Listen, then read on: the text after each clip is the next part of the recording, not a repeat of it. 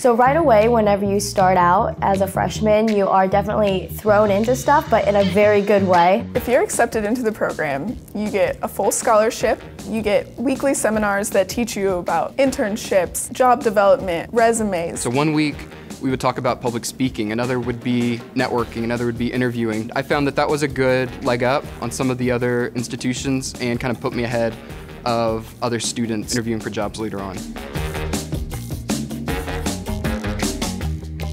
So after your freshman year, it's really gung-ho whenever you're a sophomore. You start getting into your individual teams. You can be a team leader for the different event planning or travel team. One of the great opportunities about Networks is the ability to travel and study abroad. Currently, I've been to 15 different countries. We went to Rome, Italy. I was able to make a bunch of connections at different insurance companies and carriers in London, and I was able to tour London.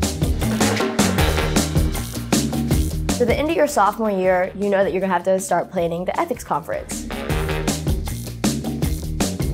We bring in external and internal speakers to speak during breakout sessions, and we also have keynote speakers. This conference really allows the junior class to kind of use all the skills that they've learned their freshman and sophomore year. It's very satisfying to say that I successfully hosted this conference with my friends and teammates. You are a team in that you can get this done together. The community and networks is amazing, and on top of all of that, you get a corporate mentor.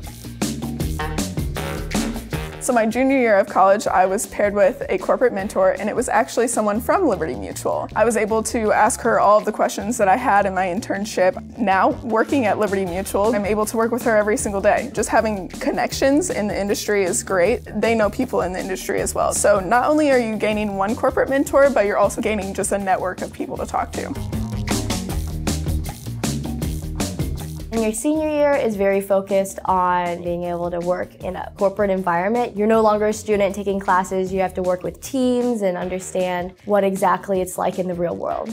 Being able to work in a team all through college, it carries over into the workplace, which I kind of thought. You start working and you do your own individual work and you get that done and then you leave at 5 o'clock every day.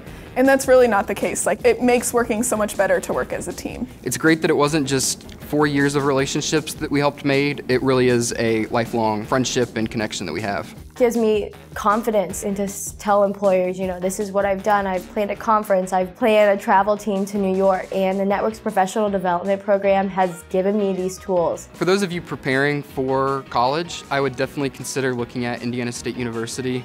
Definitely helped prepare me and excel me to where I am now.